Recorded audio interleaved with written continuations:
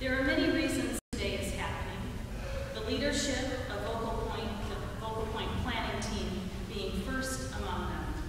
Support and encouragement from David Colby in the session here at Central, Abby Patinas and her unending creativity, and the talented, brave souls who are singing today, who until yesterday didn't even know what they were singing for.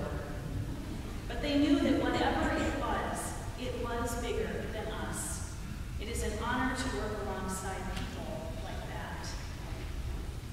Thanks for being here today. Thanks